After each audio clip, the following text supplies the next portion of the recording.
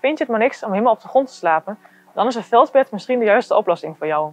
In deze video ga ik je alles vertellen over het Tahiti veldbed van Obelink. Wil je nog andere video's van ons zien? Vergeet je dan niet te abonneren op ons YouTube kanaal. Hoi, ik ben Rosanne en welkom bij Obelink.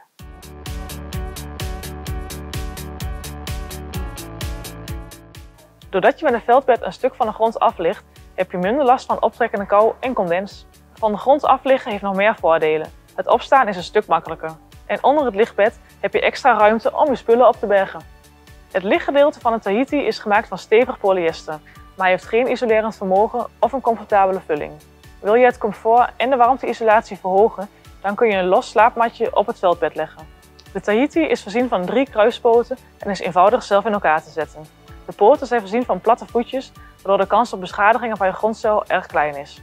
Het nadeel van dit frame is dat het in de lengte een beetje kan wiebelen. Het veldbed heeft een lengte van 195 cm en is 75 cm breed en ongeveer 40 cm hoog en heeft een maximaal draagvermogen van 100 kg. Na gebruik kun je het veldbed eenvoudig uit elkaar halen en opbergen in de meegeleverde draagtas.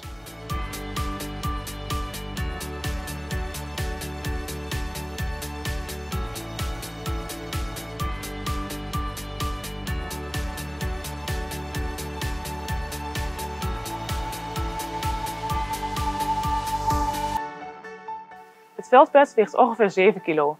Heb je dan nog andere vragen over het Obelink Tahiti veldbed? Ga dan naar obelink.nl.